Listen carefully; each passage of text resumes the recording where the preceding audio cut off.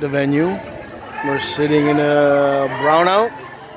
Uh, backup generator is on the way, but it's really deflating to try and do a charity initiative and not be able to and lose spectators and all that stuff due to not having any power. It's really depressing right now. And all I'm trying to do is give back to a community and help the community, but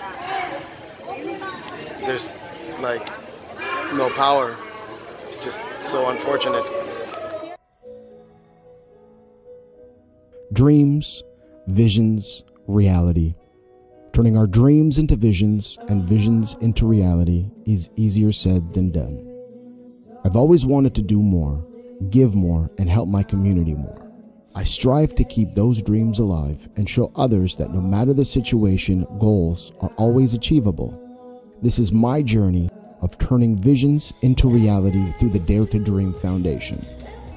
For the past two years, I've helped over 2,000 underprivileged students by supplying them with all their school supplies for the entire year. This effort alleviates financial burdens on families who would otherwise have to choose between food, bills, and school supplies. Enter the Dare to Dream Foundation. When we stop dreaming, hoping, and setting goals, we essentially give up. The Dare to Dream Foundation is more than just giving back and I learned that very early on in this endeavor.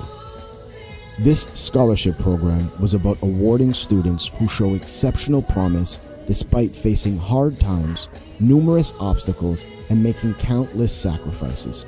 All three students who were selected persevered and graduated elementary school while almost making the honor roll. I created this event to present them with the award of a scholarship to a private high school education, something none of the three students selected would be able to afford or would qualify for through the different government assistance programs. This almost guarantees an even steeper uphill battle for their success. By creating this event, I realized that it was more than just a scholarship and helping three students. It was about the community. It was about showing a community that rarely sees rays of sunshine that hope, dreams, and opportunities can come true.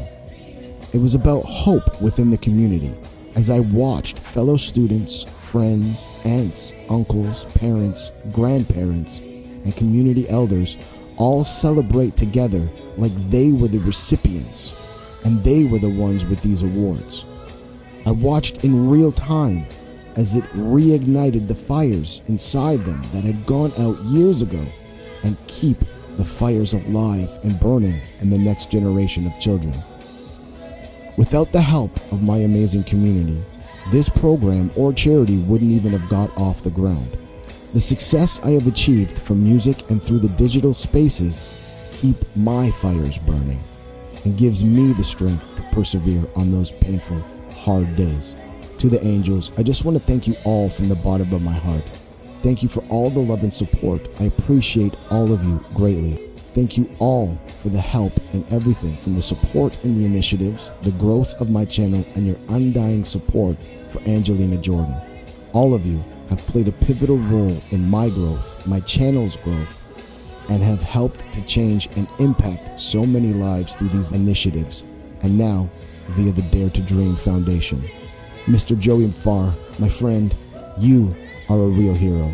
Many reach out to me daily and ask what is needed or how they can help um, with the different initiatives that are in place here, but nothing really ever materializes. But you, my friend, not only reached out to me, but you asked me what it would take to sponsor a child, and without hesitation, literally changed the course of this little girl's life forever. You, my friend, are a true angel and have a friend for life and a second home in the Philippines.